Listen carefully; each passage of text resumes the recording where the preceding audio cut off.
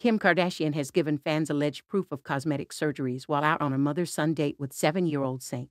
Kim took Saint to the Skirball Cultural Center in Los Angeles for an educational tour. According to the center's website, the Skirball Cultural Center is a place of meeting guided by the Jewish tradition of welcoming the stranger and inspired by the American democratic ideals of freedom and equality. The duo looked very stoic and serious after their tour at the center. Saint wore a red and black outfit. His sweatshirt was black with a red Nike logo printed all over it, and he wore a red hat with a white logo. Kim sported an all black outfit that consisted of a black floor length dress with long sleeves and a turtleneck as well as pointy black boots. Her hair was slicked back in a tight ponytail, and she was in full glam with diamond earrings. What's going on, Kim? In the photos, eagle eyed fans noticed that the KUWTK alum was having a hard time keeping her mouth closed in the photos. Some fans think the Kardashians' open mouth is an unfortunate side effect of her alleged cosmetic surgeries, specifically a lip lift.